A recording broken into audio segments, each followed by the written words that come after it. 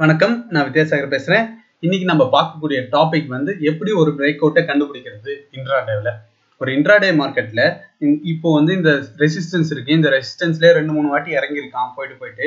இந்த ரெசிஸ்டன்ஸை break out பண்ணுமா இல்லையா அப்படின்றத நம்ம இண்டிகேட்டர்ஸோ சேட்டோ எதுவுமே இல்லாம ப்ரெடிக்ட் பண்ண முடியும். இதை நான் வந்து த்ரீ இயர்ஸாகவே செக் பண்ணிக்கிறேன். இதை நான் டெய்லியும் வந்து என்னோட இன்ட்ராடேவில் நான் யூஸ் பண்ணுவேன். இதை வேஸ்ட் பண்ணி தான் வந்து நான் வந்து next level okay break out பண்ணுமா இல்லை இங்கே கிளியர் பண்ணிடலாமா அப்படின்ற விஷயத்தெல்லாம் வந்து கான்சன்ட்ரேட் பண்ணதுக்கு ஹெல்ப் பண்ணியிருக்கு. ஸோ அதை நம்ம இப்போ பார்க்கலாம். எனக்கு சப்ஸ்கிரைப் பண்ணவங்களுக்கும் லைக் பண்ணவங்களுக்கும் ஷேர் பண்ணவங்களுக்கும் கமெண்ட் பண்ணவங்களுக்கும் ரொம்ப நன்றி. சப்ஸ்கிரைப் பண்ணலாம் சப்ஸ்கிரைப் பண்ணுங்க. இல்லை பெல் பட்டனையும் சேர்த்து அழுத்தி விடுங்க. அப்போ தான் வந்து என்னோட லைவ் அப்டேட்ஸ் உங்களுக்கு கிடைக்கும். உங்களோட ஐடியாஸ் எதனாச்சும் இருந்தால் எனக்கு ஷேர் பண்ணுங்க. அதுக்காக தான் இந்த சேனலே நான் உருவாக்கியிருக்கேன். உங்களோட ஐடியாஸ் ப்ளஸ் ஒரு டெக்னிக்கல் டீமையும் ரெடி பண்ணணும். இல்லைனா ஒரு ஃபண்டமெண்டல் டீமையும் ரெடி பண்ணணும். இதுக்காக தான் இந்த சேனலே நான் வந்து உருவாக்கியிருக்கேன். இன்னைக்கு ரிலையன்ஸில் தான் நான் செல் எடுத்தேன். பார்த்தீங்கன்னா டூ ஃபார்ட்டி எயிட் இப்போதைக்கு ப்ராஃபிட்டில் போயின்னு இருக்கேன்ற மாதிரி காமிக்குது. நான் ஆக்சுவலாக இது வீடியோ ரெக்கார்ட் பண்ணி வச்சிருக்கேன். காலையில் ப்ராஃபிட் வந்து டூ ஃபார்ட்டி எயிட் இருந்துச்சு செவன் ஹண்ட்ரட் வரைக்கும் ப்ராஃபிட் வந்துச்சு. அதனால் வந்து நான் எக்ஸிட் ஆகலை. ஓகே வெயிட் பண்ணுவோம். இன்றைக்கி வந்து நல்ல ப்ராஃபிட் வரும். ரீசன் என்னென்னா நிஃப்டி நல்லா பயங்கரமான டவுன் கிடச்சிது. கண்டிப்பாக இறங்கும்னு எல்லாருக்குமே தெரியும். அதனால் வந்து ரிலையன்ஸும் வந்து நிஃப்டி கூடயே ரன் ஆகும்ன்றதுனால வந்து ரிலையன்ஸ் வந்து செல் எடுத்தேன். ஆனால் வந்து நம்மளோட மெத்தடில் பை தான் வந்துச்சு.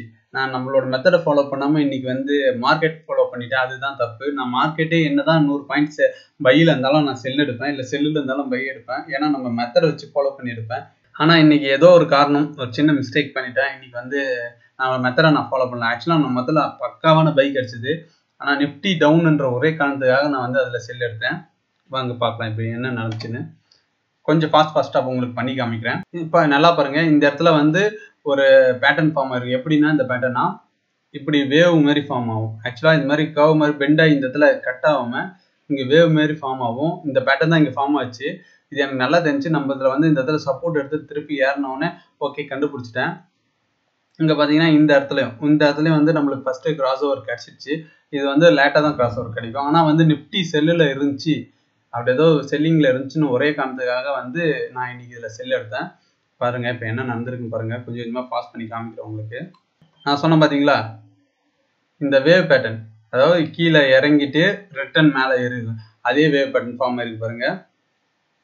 தெரியுதுங்களா? இந்த வேவ் பேட்டர்ன் ஆக்சுவலாக இந்த மாதிரி வேவ் பேட்டர்ன் ஃபார்ம் ஆச்சு அப்படின்னா மேலே ஏறப்போகுது. சாட் வந்து ஏதோ ஒரு சைடு பாசிட்டிவோ நெகட்டிவோ பயங்கரமான ஒரு ஒரு புஷ்அப் வரப்போகுது இல்லை புஷ் டவுன் வரப்போகுதுன்றது தான் அர்த்தம். ஓகே நிஃப்டி கீழே இருக்கு அப்படின்றதுனால இல்லை புஷ் புஷ் டவுன் வரும்னு நான் ஒரு த தப்பான ஒரு ஐடியா பண்ணிட்டேன். எங்கே எனக்கு தெரிஞ்சதுன்னா மூணு பதினஞ்சுக்கு தான் தெரிஞ்சது. அதை காமிக்கிறேன் உங்களுக்கு. அந்த வேவ் பேட்டர்ன் எப்படி வந்து ஃபார்ம் ஆகி மேலே போகுதுன்னு மட்டும் பாருங்க.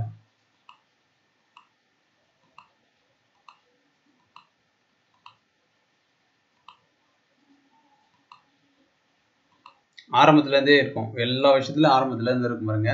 இந்த மாதிரி ரவுண்ட் நம்பர்ஸ் ரவுண்ட் நம்பர்ஸில் பெரிய குவான்டிட்டி அதாவது நாலாயிரம் குவான்டி ஐயாயிரம் குவான்டி இருந்துச்சுன்னா பிரேக் ஆகிடும் பாருங்க இந்த இடத்துல நாலாயிரம் குவான்டி இருக்கு பாருங்க.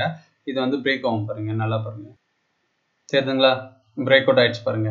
பிரேக் அவுட் ஆயிடுச்சு மேலே போகும் பாருங்க. ஏழாயிரம் குவான்டி ஆயிருக்கு. அது பாருங்க பத்தாயிரம் குவான்டி அந்த இடம் அந்த இடம் ஃபுல்லாகவே காலி ஆயிடுச்சு. ஆயிரத்தி நூறுல இருக்கிற ஆயிரத்தி நூறு இருக்கிற மொத்த பத்தாயிரம் குவான்டியுமே காலி ஆயிடுச்சு. அந்த இடம் எப்படி பிரேக் அவுட் ஆகி எவ்வளோ ஃபாஸ்ட்டாக போகுது பாருங்க. இப்போ அடுத்த லெவலில் இருக்கு பாருங்க அதுவும் பிரேக் அவுட்டு இப்போ பாருங்க. எந்த அளவுக்கு ஒரு பிரேக் அவுட் பன்னெண்டாயிரம் அங்கே நூற்றி ரெண்டு நூற்றி ரெண்டில் பாருங்க பன்னெண்டாயிரம் குவான்டி இருக்கும். இங்கே இங்கே பாருங்க நூற்றி ரெண்டில் கவ நல்லா கவனிச்சுனா இருங்க நூற்றி ரெண்டு பாருங்க. அதாவது ஒரு ரவுண்ட் நம்பரில் வந்து வெயிட்டான குவான்டிட்டி இருக்கு. சம்மந்தமே இல்லாமல் அந்த இடத்துல மட்டும் ரவுண்ட் நம்பரில் இருக்கணும். ரவுண்ட் நம்பரில் அந்த மாதிரி வெயிட்டான ஒரு குவான்டிட்டி இருந்துச்சு அப்படின்னா அது பிரேக் அவுட் ஆகும்.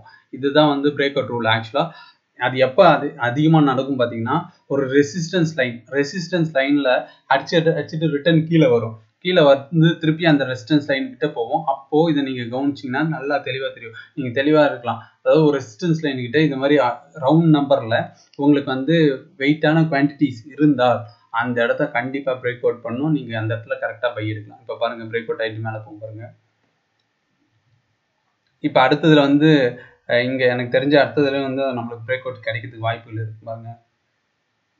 செவன்ட்டி தெரியுங்களா இங்க வரும் பாருங்க ஏழாயிரம் குவான்டிட்டி பாருங்க. இது பிரேக் அவுட் ஆகும் பாருங்க இப்போ. உடனே பிரேக் அவுட் ஆகும் பாருங்க. திருப்பி போகுது. பாருங்க நல்லா பாருங்க பிரேக் அவுட் ஆகும். இது இன்ட்ராடைவ்ல தான் நம்மளால பண்ண முடியும். அதாவது ஒரு ரெசிஸ்டன்ஸை உடைக்கிறதுக்கு முன்னாடி இந்த மாதிரி பெருசா ரவுண்ட் நம்பர்லாம் டிஜிட் ரவுண்ட் நம்பர்ல அதிகமான டிஜிட் வந்து இருந்தால் கண்டிப்பா அது பிரேக் அவுட் ஆகும். நான் இந்த தியரி வந்து லைவா பண்ணணும் பண்ணும்னு ரொம்ப நாளா பார்த்துருந்தேன். ஓகே இன்னைக்கு வந்து லைவா பண்ணலாம்னு ஒரு ஐடியா இருந்துச்சு. ரொம்ப நாள் ஆயிடுச்சு வேற நம்ம வீடியோ போட்டு. ரெண்டு மூணு நாள் ஆயிடுச்சு. ஸோ அதனால பெட்டரா ஒன்று புதுசாக ஒன்று கொடுப்போம் அப்படின்னு சொல்லி தான் வந்து இதை ரெடி பண்ணேன். பாருங்க. நல்லா பாருங்க. இப்போ இறங்கிடுச்சு நீங்க நினைப்பீங்க. அப்படி கிடையாது. ஆக்சுவலாக அது. ஒன்னா த்ரீ இங்கே ரெண்டாயிரம் குவான்டிட்டி இது பிரேக் அவுட் ஆக போகுது பாருங்க. அந்த கிளியர் ஆயிடுச்சு. அது அதுக்குள்ளே கிளியர் ஆயிடுச்சு. பிரேக் அவுட் ஆயிடுச்சு. சொன்னோம் பார்த்தீங்களா பிரேக் அவுட் ஆயிடுச்சு. இப்போ பாருங்க. அடுத்தது வந்து இந்த ரெசிஸ்டன்ஸ் கிட்ட வரும்போது வெயிட்டாக இருக்கும் பாருங்க. அது கண்டிப்பாக பிரேக் அவுட் ஆகும். அந்த இடத்துல வெயிட்டாக இருக்கிற பட்சத்தில் கண்டிப்பாக பிரேக் அவுட் ஆகும். வெயிட் பண்ணி பாருங்க. கமா இங்கே பாருங்க எட்டாயிரம் குவான்டிட்டி எட்டாயிரம் குவான்டிட்டி இப்போ வந்து இது கண்டிப்பாக பிரேக் அவுட் ஏன்னா வந்து ஒன் நாட் ஃபோர் தான் வந்து ஏற்கனவே ஹை வச்சிருக்கேன் one nought four something so இந்த இடத்துல இது கண்டிப்பாக பிரேக் அவுட் பண்ணும். இதை பிரேக் அவுட் பண்ணும் இந்த மாதிரி ரெசிஸ்டன்ஸை வந்து இது பிரேக் அவுட் பண்ணுதுன்னா பயங்கரமான ஒரு மூவ் கிடைக்கும். உங்களுக்கு இப்போ தெரியும் பாருங்க அது. எட்டாயிரம் குவான்டி இருக்கா? வேற எங்கேயுமே எட்டாயிரம் குவான்டி இருக்காது. இங்கே மட்டும்தான் இருக்கும் பாருங்க. ரவுண்ட் நம்பரில் மட்டும்தான் இருக்கும் பாருங்க. இப்போ இந்த இது சாதாரணமாக கிளியர் ஆகும் பாருங்க. இதே மாதிரி இந்த இடத்துல நம்ம வந்து செல்லிங் ஹெவியா இருக்குன்னு சொன்னோம் பாத்தீங்களா? இது எல்லாமே ஒரே இடத்துல கிளியர் ஆகும் பாருங்க. நாட் ஃபோர் இப்போ பிரேக் அவுட் ஆயிடுச்சு. தெரிஞ்சுங்களா one nought four break out ஆயிடுச்சுங்களா? இப்போ பாருங்க. அடுத்த லெவல்ல இருக்கான்னு பார்ப்போம். அடுத்த லெவல்ல இருந்தா இன்னும் வேகம். சம வேகத்துல புஷ் பண்ணி சட சட சடன்னு தள்ளும். ஏன்னா ஒன் நாட் ஃபோர் செவன்ட்டி தான் வந்து ஹை இது வரைக்கும் நம்ம வச்சது ஒன் நாட் ஃபோர் சிக்ஸ்டியோ செவன் சம்திங் தான் ஹை ஸோ அந்த இடத்துல ஹெவி ரெசிஸ்டன்ஸ் இருப்பான். அந்த இடத்துல எத்தனை பாயிண்ட் இருக்குன்னு பார்ப்போம். ஒன் நாட் ஃபைவ்ல எத்தனை பாயிண்ட் இருக்குன்னு மட்டும் பாருங்க. இப்போ வந்துருச்சு ஒன் நாட் ஃபைவ் கிட்ட வந்துருச்சு. பாருங்க ஒன் நாட் ஃபைவ் வந்தோடனே பாருங்க. ம் ஒன் நாட் ஃபைவ்ல பாருங்க. ஒன் நாட் ஃபைவ்ல இருபத்தாறாயிரம் குவான்டிட்டி இருபத்தாறாயிரம் குவான்டிட்டி நல்லா பாருங்க. இருபத்தாறாயிரம் குவான்டிட்டி அது அதுவும் பிரேக் அவுட் ஆகும் பாருங்க.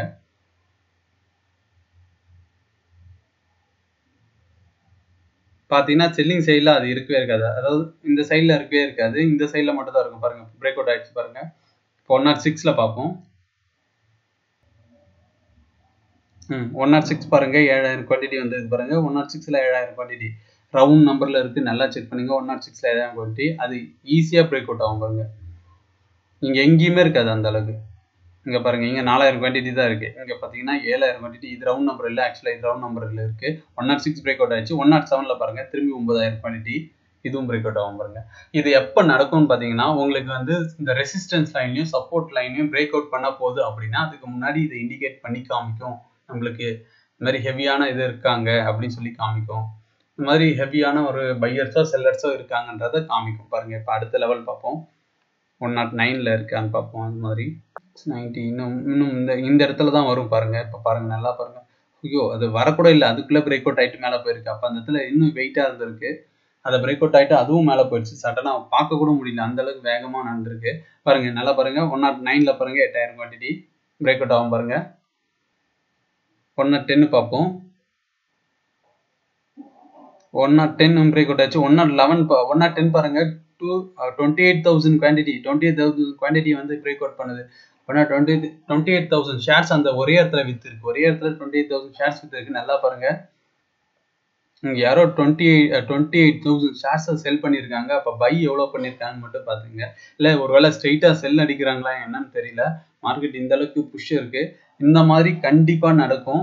பார்த்தீங்கன்னா எப்போ ஒரு ரவுண்ட் டிஜிட்டில் வந்து வெயிட்டான குவான்டிட்டி இருக்கோ கண்டிப்பாக அது பிரேக் அவுட் ஆகும். பதினேழாயிரம் குவான்டிட்டி பாருங்க. ஒன்னா டென் நல்லா பாருங்க. டென்ல தான் ரவுண்டா இருக்கு. நல்லா பாருங்க. வேற எங்கேயும் இருக்கக்கூடாது. வேற எங்க ஆப்போசிட் அதை நான் இன்னொரு விஷயம் இருக்கே சொல்லுவேன் ஒன் நாட் லெவன்ல பாருங்க. இதை பார்த்தீங்கன்னா இதுதான் வந்து இன்ட்ராடேவோட முதல் சீக்ரெட் ஆக்சுவலாக வந்து ஒரு ரவுண்ட் டிஜிட்ல எங்கேயுமே இல்லாத ஒரு வெயிட் குவான்டிட்டி இருக்குன்னா அந்த ரவுண்ட் டிஜிட்டை அது பிரேக் பண்ண போதுன்னு அர்த்தம். இது வந்து சப்போர்ட் அண்ட் ரெசிஸ்டன்ஸ்ல பக்காவா உங்களுக்கு ஒர்க் அவுட் ஆகும். இப்போ நீங்க வந்து ஒரு ரெசிஸ்டன்ஸ் தட்டி தட்டிட்டு கீழே வந்துனே இருக்கு அப்படின்னா அந்த ரெசிஸ்டன்ஸ் பிரேக் ஆகுமா இல்லையா? அப்படின்ற நீங்க கண்டுபிடிக்கணும் அப்படின்னா அது பக்கத்துல இருக்கிற ரவுண்ட் டிஜிட்டை செக் பண்ணுங்க. அதுல இதுக்கும் இதுலயும் இல்லாம அதுல எல்லாம் சம்பந்தமே இல்லாம வெயிட்டான ஒரு குவான்டிட்டி அங்க இருக்கு அப்படின்னா அதுல ஹெவி அந்த இடத்த கண்டிப்பா பிரேக் அவுட் பண்ணி மேல போக போகுதுன்னு அர்த்தம். நீங்க தைரியமா பை பண்ணலாம். இந்த ஓகே இந்த வீடியோஸ்ல உங்களுக்கு எதனாச்சும் பயனுள்ள தகவல் கிடைச்சிருந்தா எனக்கு லைக் பண்ணுங்க ஷேர் பண்ணுங்க சப்ஸ்கிரைப் பண்ணுங்க பெல் ஐக்கானே எடுத்துங்க உங்களோட ஐடியாஸ் எனக்கு ஷேர் பண்ணிக்கங்க. அதுக்காக தான் இந்த சேனலே நான் உருவாக்குனேன். Thank you Thanks for watching.